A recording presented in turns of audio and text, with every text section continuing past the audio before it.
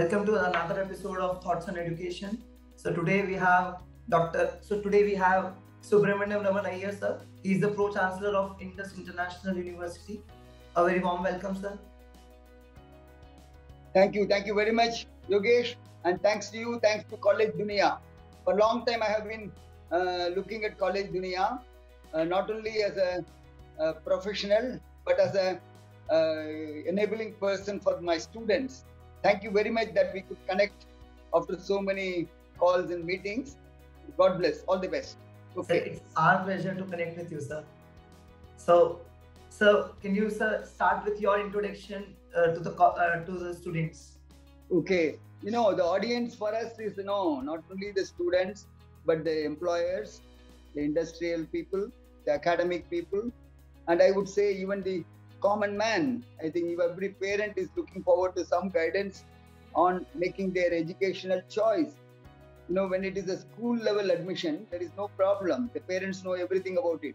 But when it comes to college level education there is the total information asymmetry among the parents. They don't know where to put their children and the children themselves do not know where to go themselves.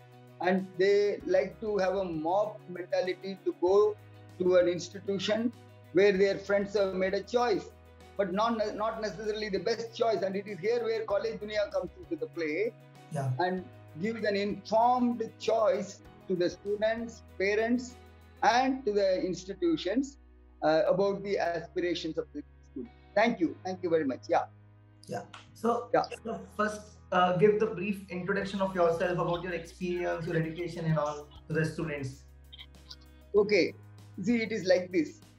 Yogesh, uh, at, at our age and seniority, we are as simple as the people around. There is nothing much to introduce myself, except that uh, I have been a, a, army officer for 30 years, a commissioned army officer, and retired as a colonel and an instructor in the Defense Services Staff College. Okay, I have been in the corporate for around five to seven years, and retired from the corporate uh, as a senior vice president of a public sector undertaking. Oh. And in the academics, I have been a director corporate affairs of the industry started university known as GSFC University, Gujarat State Fertilizers and Chemicals University in Baroda uh, for uh, almost two years. And thereafter, I was provost vice chancellor in another university known as Sri Venkateshwara University, Meerut, for around two years. Now I'm here in Indus for almost uh, one and a half year plus, Indus International University. I'm a doctorate from IIT Kharagpur, MBA from IIT Kharagpur, around five to six masters uh, with all uh, very high academic. Thank you. Yeah. So, sir, as you have said, you have worked in the army and you have worked in the corporate sector also. So, what attracts you to the education sector? You are finally, I mean, you are a pro chancellor. So, what are the factors which attract you towards the education sector? You know, to say that somebody was in the army but but not uh, in education is a misnomer. You know, in army we get young boys, freshers from the college, and how is it that they go on to become uh, the masters in the tank technology, masters in flying Rafale and Mirage, masters in controlling the submarines? How is it possible? There is some training going on. Please understand. There is no other institution in the country where the training is more intense, more demanding, more harsh, more rigor. And this is more than what you see in IIT and IIM. You know, you do an IIT for four years and then you hang on uh, in the happiness of uh, being an IITian. That's all. But then in army, for four years, if you work, you just become a captain for eight years or 10 years you work, maybe it will take you up to a major or a colonel.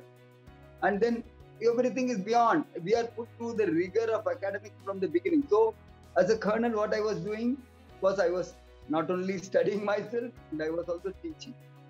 And as an academician, again, what I'm doing is the same. And so was it in industry. So, what I'm trying to say, what attracted me was the future is not for those who accumulate wealth future is not for those who even accumulate friendship and social network and likes and you know hikes and all that future is for those who accumulate knowledge, who work very hard to gather, generate, and update their own knowledge. That is what attracted me to come with this profession. And here also I'm learning, and I don't know whether you would like to see some of my books. You know, this is the book that I'm reading now.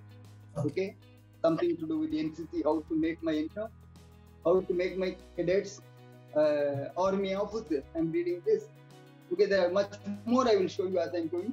I'm looking at some, you know, uh, this is another brochure, you know, something to do with quality assurance and all that. Okay. Know, these all, let me, I tell you, this interview is taking place at my residence. Okay. At my office, there must be thousands such papers. But the fact that I carry home the quest for knowledge will give you an indication that in this position, there is no way one can stop reading, stop learning, and stop enjoying that. Thank you. Yeah. That's really great, sir. You said, you are learning, you are reading so many books and all. So, being in the army, uh, as you are as a colonel, and you are, I mean, you have immense experience of leadership. So, what you think the leadership styles and techniques you're using, which is, I mean, you learn in the army, uh, in the when the time you have in the army, and you are applying in this education sector. What are the leadership techniques? Okay, uh, no, to put it simply, yeah. no, leadership is not somebody on the top, somebody at the bottom, yeah. and then you know the horse driving the cart or the leader driving the subordinate. No. Leadership is all about identifying the leader among the team. Let me tell you. What I learned in the army is the only way the team can become stronger is to nurture the leadership qualities in the subordinate. Within one month of interaction with any group of people, you should be able to identify the leaders among them.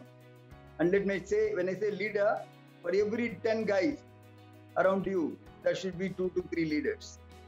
So if there are 100 guys around you, let's say in a university you're having 100, 200 staff, you should be having around 20 to 30 leaders comfortably. And those are the leader, academic leader, knowledge leaders, social leaders, say, I would even say political leaders and religious leaders, health leaders, fitness leaders, you know, adventure leaders, you know, leader of all kinds are there among the team, not necessarily at the top. So all that I learned in the army is to identify such a quality among my students, among my staff members, and nurture them to become what they are. So that the organization functions functions without too much of guidance and prompting. You know a self-propelled organization is more stronger and more sustainable than a top down driven organization. Thank you. Yeah. And so what are the ch- challenges do you think in the current education sector? What are the things which is which need to be updated or which need to be changed in the education sector? Okay, sir. First of all, uh, the education sector, uh, you know, from welfare education, we have to go for, you know, very focused education. You know, it is something. It is not something like the COVID vaccination that should be given to everybody. You know, education is meant for those who value the education you know i am i'm not telling about basic education. I'm not telling about primary education secondary education school education. I'm talking about college education. College education should be for those who value the college education. For that there has to be some entrance level qualifying examination. No one can uh, demand education just because he or she has the money to pay. You know this fee fee payment uh, based admissions does not see through the knowledge you know ending with a quality degree. It might get you a degree but then it will not get you the knowledge. What is required is the entry level merit. Whatever be the merit should be identified and slowly nurtured. I don't say a person who got 40% 60% cannot go to the college but then let it be known that he or she got only 40 or 60% in the entrance examination. Then the teachers know how much of a uh, investment of energy time they have to make on that particular student so that uh, bottom liner is brought up to the middle liner a middle liner is brought up to the top that's it. So first is entry level merit. Second is you know we make uh, very good choice. You know when you want to travel in a train you decide which compartment to travel which class of travel you want. When you want to go in a flight you are looking at you know, Indigo, you're looking at SpiceJet, you are looking at you know Air India, and you're looking at the economy class, window seat, and all that. But then when it comes to education, hardly somebody is concerned about the quality of education. I am I feel pity on those who compare the fee structure of one institution with another and make a choice. I'm telling you, this is not the vegetable market where you can buy vegetable by bargaining or by going to a wholesale market. You've got to identify the correct institution where you want to join. This is very important, and College Dunia must help the students make this decision first. Second, which course to opt? You know, it is not that I like civil engineering uh, and uh, I must go to civil. No, firstly, do you have a competence to know what is civil engineering?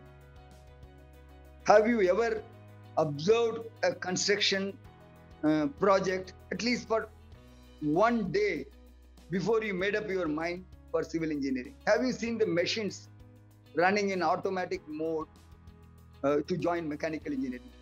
Just because you're good at WhatsApp and you know some you know uh, software and Android based software, you cannot become a computer engineer and a computer application engineer. You've got to have some basic knowledge. So this choice of education, choice of institution, and last but not the least, uh, additional effort beyond the syllabus is very important.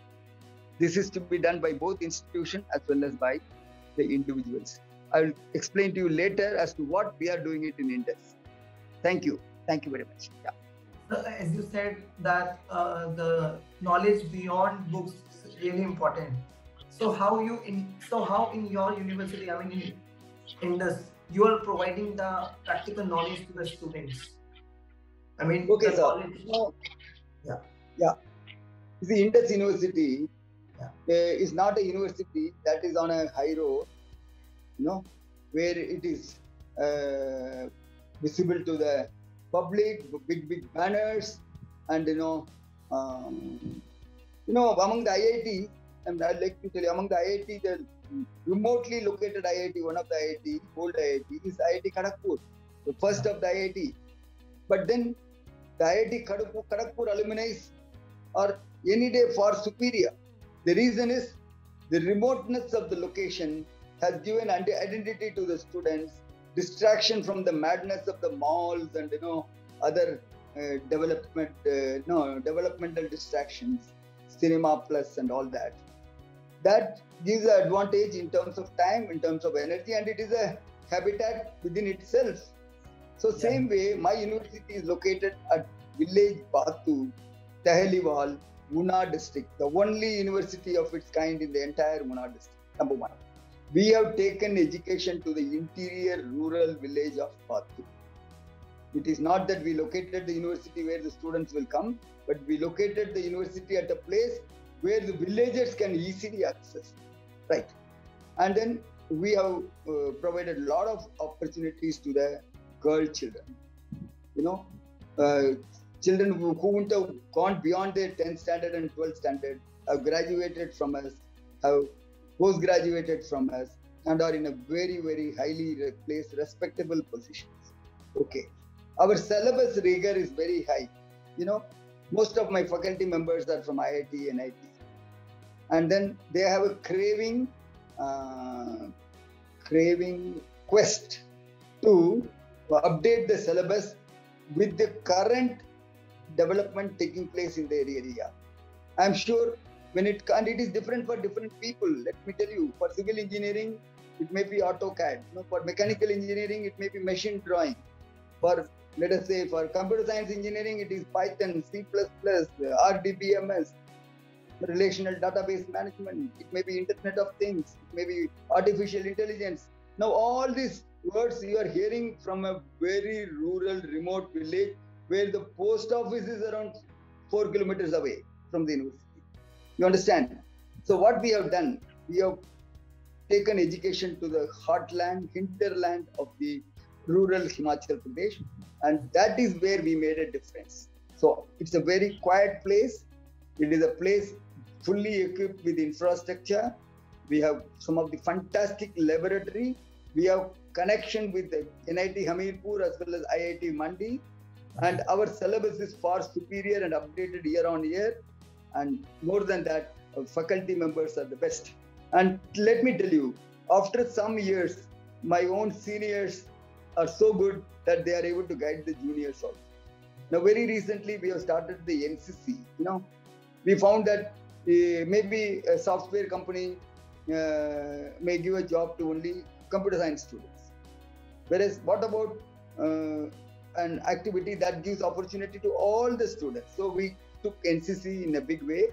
We have started Army NCC, Air Force NCC, Naval NCC simultaneously. I'm telling you, in the entire Himachal Pradesh, there is not a single private university that has got all three. Even NIT Hamirpur got it after we got it. We started it on uh, fully self-financed scheme basis. We are spending money on it. Doesn't matter. But then today, quietly, Indus International University is becoming Indus Military Academy. Okay, and then if if you can be a very good engineer, fine. But then you can be if you cannot, you can be an army officer as well. You can be a pilot as well. You can be a, a submarine engineer as well. So that is what we are looking at. So we are look, giving multiple opportunity to the boys, girls. So that is something you can talk to any university. I'm if someone is uh, working beyond what I said, I like to learn from. It. So this is our unique USP, unique selling proposition. I don't say selling, unique learning proposition. We don't have to sell ourselves. Our students are our ambassadors. Our teachers are our brand ambassadors. And our curriculum and standards are universal, highly validatable. Uh, and I'm sure uh, many of, of, my students have joined IIT and NIT for their postgrad. Many have been picked up for the PhD projects. Many have got government stipends and whatnot. So that is the difference between an ordinary institution and Indus International University. Yeah, go ahead. Yeah. So that's really great. So your college is providing the army training and other trainings also with the BTech and with the with the engineering groups. That's really great, sir. So, my yeah. So my last question is, uh, how you think what is the vision of Indus? I mean, five years down the line or ten years down the line, what are the other things which you want to start in Indus University and which you want to?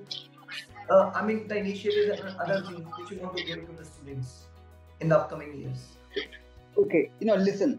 Firstly, uh, in the initial years, all the state private university in Himachal were looking at numbers.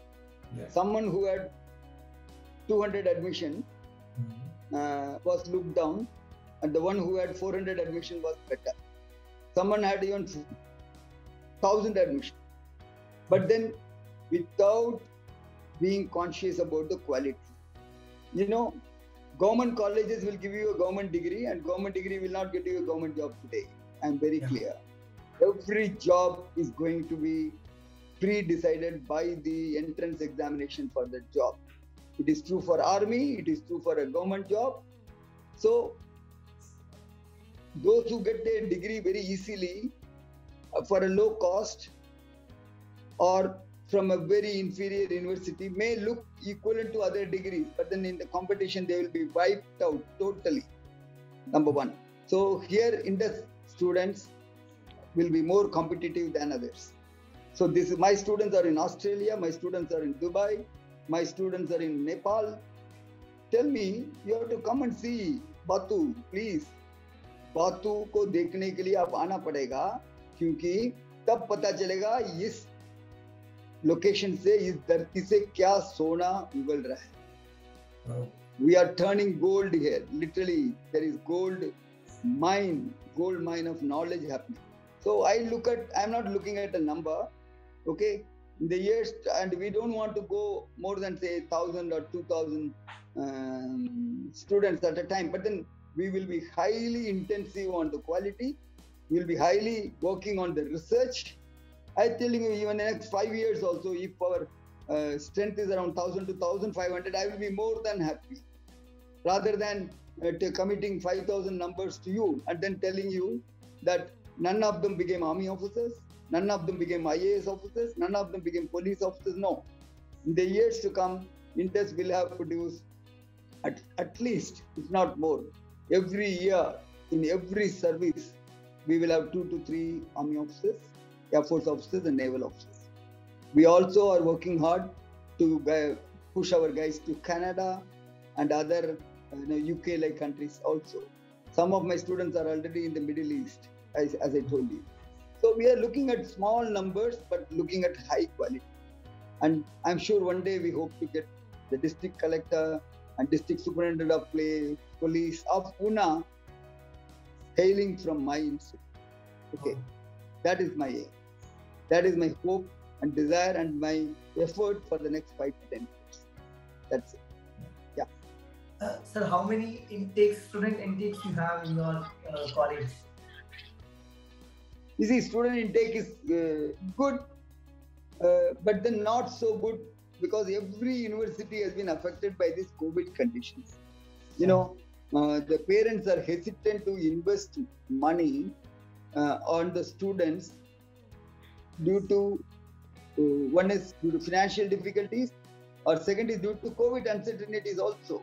But Indus never uh, shied away from its commitments we conducted a lot of campus classes. Even during COVID, we conducted all our practicals and project work in the campus. We also identified correct internship for most of our students. All our exams were conducted in the campus. Somebody was telling me online exam, offline. There is nothing known as offline exam. That is a misnomer.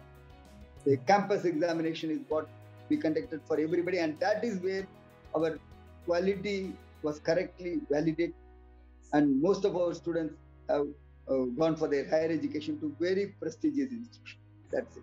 Yeah. Sir, sir do uh, people from students from Pan India take admission in your college?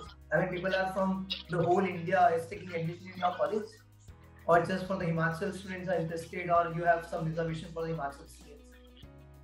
You know, today Himachal Pradesh is a very peaceful state. Yeah uh, the students who were earlier going to say uh, some other uh, states like Rajasthan or Uttar Pradesh are now looking at a very peaceful uh, state of Himachal Pradesh, uh, provided their education quality is maintained. Number one. Number two, we are looking forward to students from, say, all India. See, some students, uh, one of our students had studied from another, you know, Ethiopia-like country also. We had a student from Ethiopia. We had large number of students from Jammu and Kashmir. But then ours is a campus-based university. You have to 100% uh, attend the regular classes. If you don't have 75%, you cannot appear for the exam, or you'll have to go through the extra classes to to fulfill the mandatory requirement of attendance. So there is no non-attending, there is no fictitious names, there is no reward for not working. So that is how we, we are okay. And we, as I told you, in terms of numbers, uh, we are very conscious about the quality. There are a lot of lot of universities who have taken uh, students, whether or not they have any likelihood of coming to the campus. But uh, no, it's a it's a it's a clear mandate that the students will attend to the campus whenever the university reopens, and it is already reopening. We are opening it in patches for different programs. So we are waiting for some more clarity on COVID, but then it's okay. You know, the spaciousness of the university is a foolproof system against any uh, COVID you know uh, threat. खोले खोले जगह है और बहुत अच्छा environment friendly hills around and even the Khushbu around the uh, university will tell you that we are covered with so many Sanjeevani beauties. Okay, and then it is a self-contained campus in terms of library, laboratories, auditoriums, and whatnot.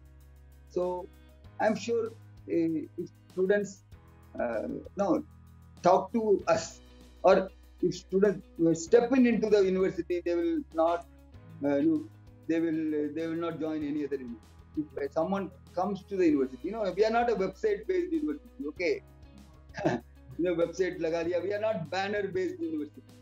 We are not newspaper advertising university, full-page advertisement. We, I, I'm not wanting to, and we are in the pure profession of education. Let me tell you, we don't sell sweets, we don't construct buildings, we don't run transport and hotels. We do only one thing that is education. Karta Education Society, which is the uh, a group under knowledge and education, is based all around the country, all around the world. Ours is a Bombay based Karta Education Society that has got its schools uh, as well as many education institutions in Dubai, Bombay, we had it in Sri Lanka also, London, where not. Okay, so where, do you think my student went for their uh, you know, tour in the initial days? They went to Dubai. They went to Dubai. International exchange programs like thing we plan to organize. Now I am planning to organize uh, All India Student Exchange Program for my students. So we have already visited border areas. We have visited many cantonments. Let me tell you, Jalandhar, Pathankot, Ferozpur, uh, Amritsar cantonments have been visited by my student uh, thanks to the NCC, or thanks to my army connection, and thanks to the very, very uh, broad-minded senior officers in the army who want my NCC cadets to become their future officers. Yeah. Uh, thank, thank you, sir. You have answered all the questions very neatly. So, any advice you want to give to the students? Uh, say again, I am not hearing you correctly, Yogesh. Uh, दोबारा बताना yeah any advice you want to give to the students who are looking for the course but you make a correct choice of the institution make the correct choice of the program and then consult a lot of people i'm telling you you might you know choosing a job is easy. Yeah. Let me tell you even choosing a girlfriend is more easy. Uh, but then choosing a correct institution is very very important. Remember that will make your life that will make your girlfriend also that will get you a job also and that will make a future for many lives in your family and in friends so my, my one word advice is make a correct choice of the institution and the program you want to get and you take two steps we will come two miles ahead in front of you to take you to hold your hands okay? So please uh, we are not here for a career. We are not here for you know um, uh, when i say career for myself i'm not here for a career. I'm here for a pure service orientation because luckily good people good uh, teachers and good institutions have nurtured me to this level and i want to see each of you my students to raise up to level even beyond what i am okay and i can see the hope is in a big way i wish uh, I had my NCC students around. I would have got them also in the group. Uh, luckily, uh, that would have added more color to this event. I'm sorry I did not send the link. But the next time, I think about Indus, you must hear from the Indus students. Okay, yeah, and sure. we can have another another another evening. Okay. For sure, sir. sir Fine, Yogesh. Thank you. Thank you. Thank you, sir. That's What the else? advice you have given to the students to choose first choose the career. That's really great. sir. Thank you. Thank you very much. God bless you.